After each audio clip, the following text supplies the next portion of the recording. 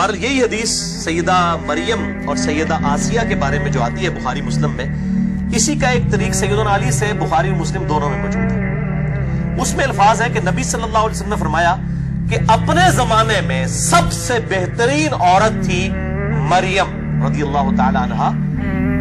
तलाम और इस जमाने में सबसे बेहतरीन औरत है खदीजा रदी अल्लाह तहा जो कि नबी सल्लल्लाहु अलैहि वसल्लम की सैयदा आयशा से भी बढ़कर महबूब तरीन बीवी थी, जो सबसे पहले इस्लाम लेकर आई इवन मौला अली से भी पहले।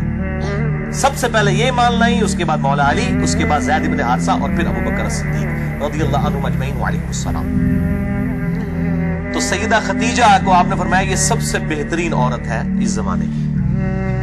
अल्लाह अकबर। बल्कि इसी कॉन्टेक्स्ट में बुखारी और मुस्लिम में एक और हदीस है, मिशकात में आपको अजवाज मुताहरात वाले चैप्टर में हदीस भी मिल जाएगी कि मायशा रदी अल्लाह तला खुद कहती है, मुझे सबसे ज़्यादा जिस औरत पे रश्क है, वो खतीजा है। सईदा फातिमा की माँ और हजूर की बीवी, महबूब तरीन। आप सल्लल्लाहु अलैहि वसल्लम खतीजा का इतना ज़िक्र करते कि मुझे खतीजा पर रश्क होने लगता।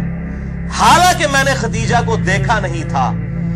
आप सल्लल्लाहु अलैहि वसल्लम खतीजा की सहेलियों को भी बकरी जबा करके उसका गोश्त तोहफा तन भिजवाया करते थे।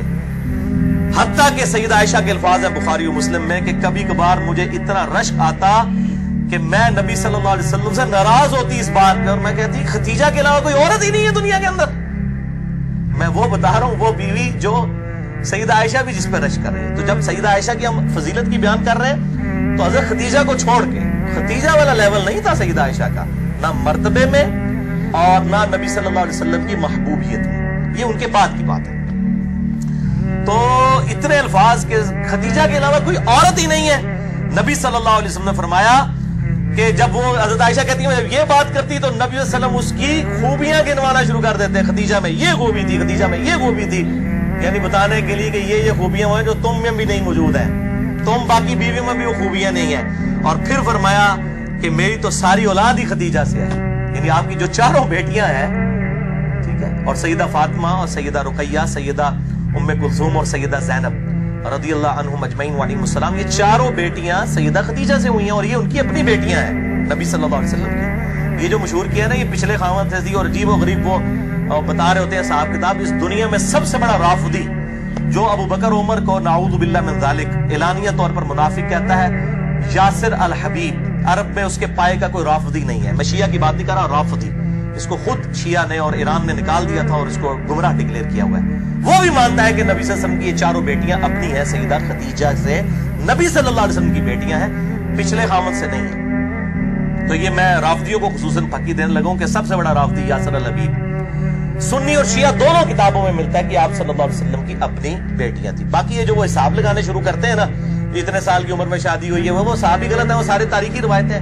कोई सही सनत से साबित नहीं है कि नबी सल्लल्लाहु अलैहि वसल्लम की अकद में सईदा खदीजा जब आई तो उनकी उम्र चालीस साल थी। कोई सही सनत से साबित नहीं और ना ये सही सनत से साबित है कि आप सल्लल्लाहु अलैहि वसल्लम की हिजरत के बाद ये बेटियाँ पैदा हुई। ये अपनी टाइमिंग पे पैदा हुई और अलहमदुल्ला हिजरत के वक्त ये बालिगा थी।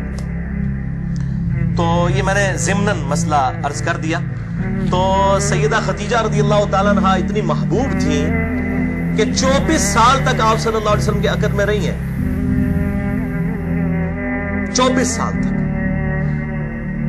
और आप सल्लल्लाहु अलैहि वसल्लम ने उनकी ज़िंदगी के अंदर दूसरी शादी नहीं की, इससे अंदाज़ा कर लिया उनचास नबवी में जब नबी सल्लल्लाहु अलैहि वसल्लम की उम्र मुबारक उनचास साल हुई, क्योंकि आपकी शादी 25 साल की उम्र में हुई। इसी साल आप पर दो गम के पहाड़ टूटे, एक सैदा खतीजा रदी अल्लाह तहा का जो है इंतकाल हुआ और दूसरा जनाब अभी तालिब का।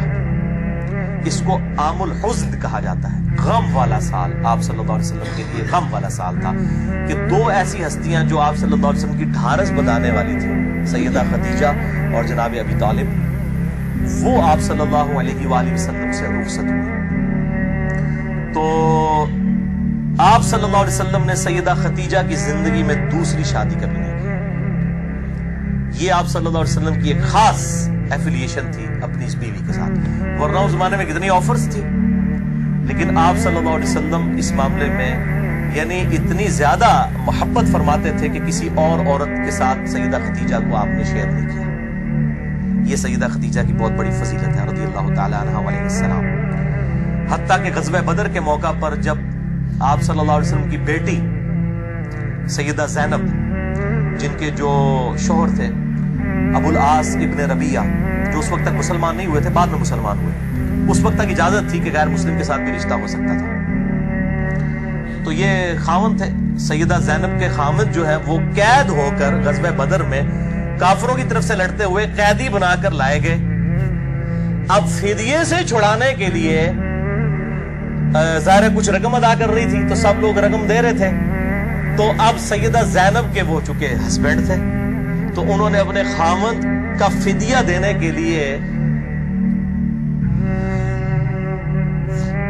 अपना वो हार दिया, जो सईदा खतीजा ने अपनी बेटी को पहनाया था। सईदा जैनब को।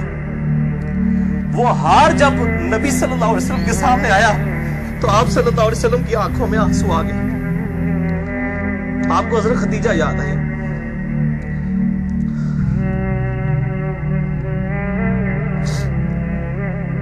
आप सल्लल्लाहु अलैहि वसल्लम ने अपने असहाब से कहा कि अगर तुम मुझे इजाज़त दो तो मैं ये हार अपनी बेटी जैनब को वापस कर दूँ।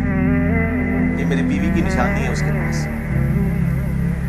तो साहब ने कहा, यार सुनना क्यों नहीं? आप बिल्कुल और फिर उनको बगैर फिदिए के छोड़ दिया गया। फिर वो इतने उसने अखलाक से मुतासर हो कि उन्होंने इस्लाम भी कबूल किया, और उन्हीं की बेटी है उमामा रदी अल्लाह तहा बड़ी मशहूर है नबी वसल्लम की ये नवासी, जिनके बारे में बुखारी, मुस्लिम में आता है कि आप वसल्लम इनको गोद में उठा के नमाज़ भी पढ़ा करते थे। सैयदा उमामा। ये लफ्ज वैसे लोग उर्दू में इमामा बोल रहे होते हैं लफ्ज उमामा। अलिफ के ऊपर पेश है, उमामा। उमामा बिनते जैनब। तो ये सईदा खदीजा रदी अल्लाह तहा के साथ आप सल्लल्लाहु अलैहि वसल्लम की अकीदत थी।